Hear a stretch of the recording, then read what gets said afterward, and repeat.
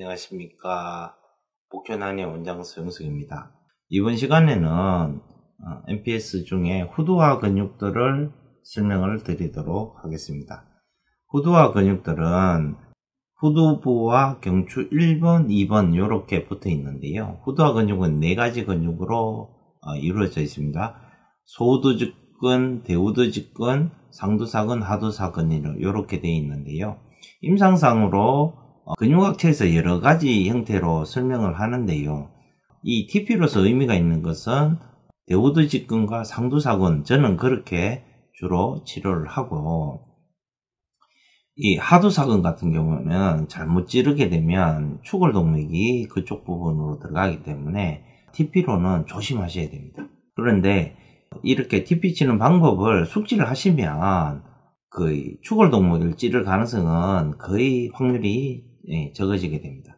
이 후두화 근육들이 기능은 고개를 약간 깔딱 요만큼 움직이는 겁니다. 요만큼. 처음에 신전하는 초기에 걸리는 힘을 이렇게 이렇게 잡고 있는 거죠. 그 기능 그리고 후두화 직근들의 기능은 대표적인 것은 경추 1번과 2번을 안정화시키는 게 주된 업무입니다. TP, 저는 TP로서 후두화 근육을 접근을 해서 치료를 하는 것은 잘 하지 않고요. 경추 1번의 회전변이 그렇게 추나 방법으로 주로 많이 교정을 하기 때문에 후두화 근육은 SOT 기법 중에 베이직 원이라고 있습니다. 후두화 근육을 손가락으로 해서 이렇게 푸는 방법이 있습니다. 그래서 저는 TP로서 후두하 근육을 치료하는 것이 아니라 일단 경추 1번을 교정을 하기 위해서는 후두하 근육 쪽에 이완이 좀 돼야 되기 때문에 SOT 기법의 basic one을 써서 이따가 실습할 때 제가 보여드리도록 하겠습니다. basic one의 기법을 써가지고 후두하 근육들을 손가락으로서 긴장을 이완을 하고요. 그리고 나서 경추 1번의 회전변이로 주로 치료를 하게 됩니다. 그렇게 해서 제가 후두와 근육의 TP는 알고 있고 뭐 어떻게 쓰면 되지만 만약에 교정을 하시지 않는 원장님들 같은 경우에는 침을 쓰는 데 있어 대우드 직근과 아, 상두사근만 이렇게 하셔도 되고 손가락으로 그 이완 시켜 주는 방법을 선택하시는 것을 권해드리도록 하겠습니다. 그리고 저희들이 풍지 혈자리에 이렇게 보면 혈자리가 풍지 혈자리는 반드시 반대편 눈으로 해서 자침을 한다라고 이렇게 진구학 책에 나와 있는데요.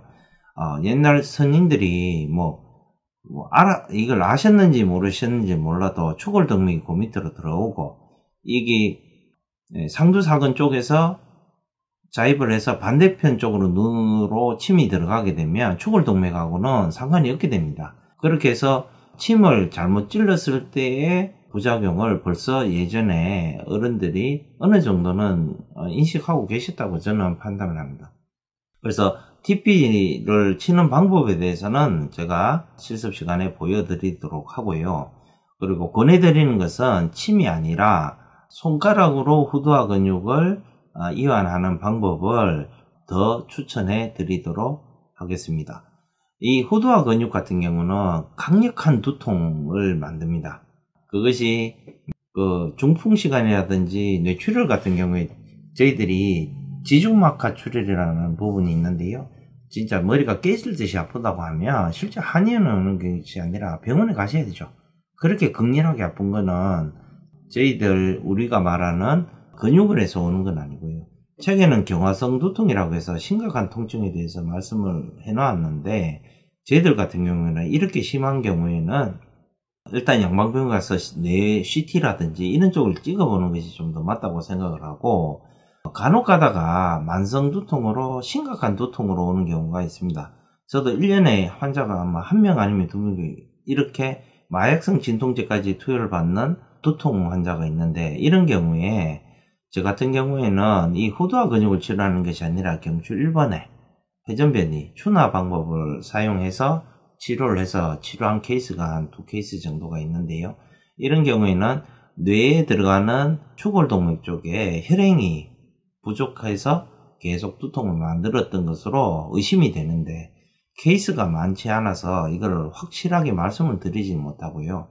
저 같은 경우에는 어찌됐건 경추 1번에 추나를 해서 경출번을 보려고 하면 반드시 후두와 근육을 일단 풀어놓고 제가 준화를 해야 되기 때문에 이 SOT 기법의 베이직 1이라는 방법을 이용해서 충분하게 이완, 근육, 후두와 근육을 이완시켜 놓고 나서 경출번을 회전 변이를 치료하는 방법을 사용하고 있습니다.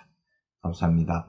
그리고 후두와 근육은 요 가운데 EOP에서 일행지가 소두 직근, 하능지 옆에가 대우두 직근, 상두사근 이런 식으로 되어 있는데 TP는 대우두 직근 옆에서 이렇게 지는데요.